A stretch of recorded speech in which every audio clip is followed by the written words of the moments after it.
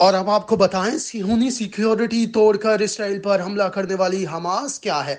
हफ़्ते की सुबह फलस्तीनी मजामती तंजीम हमास ने गजा से इसराइल पर अचानक हमला शुरू किया, जो इसराइल और फलस्तीन के दरमियान बरसों से जारी सबसे संगीन कशीदगी में से एक है।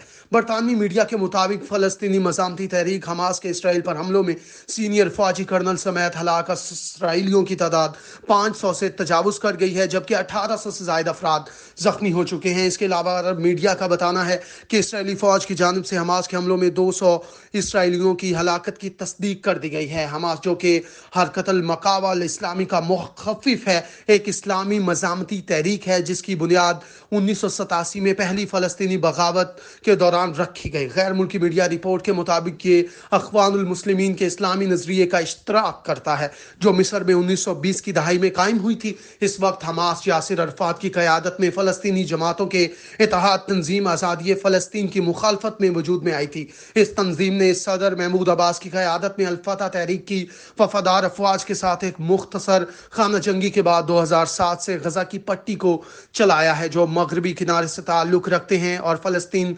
लिब्रेशन ऑर्गेनाइजेशन के सरबरा भी हैं। दो हज़ार छः के आम इंतबात में फतह के बाद हमास ने गजा पर कब्जा कर लिया।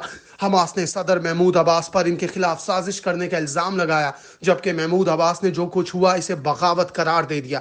इसके बाद से इसराइल के साथ तनाज़ात के मुतद वाक़ात रूनुमा हो चुके हैं, जिनमें अक्सर हमास की गजा से इसराइल पर रॉकेट हमले और इसराइली फ़िज़ाई हमले और गजा पर बमबारी शामिल है।